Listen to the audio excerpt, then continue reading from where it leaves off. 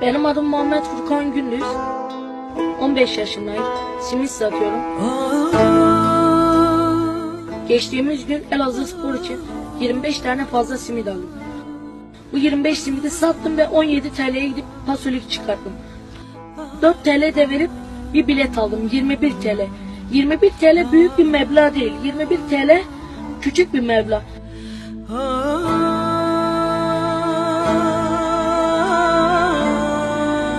Bu takım bizim. Bu takım bir tek sahip çıkanların değil. Bu takım bir Elazığ. Elazığ Spor Süper Lig'e çıksa şehrimiz daha güzel olur.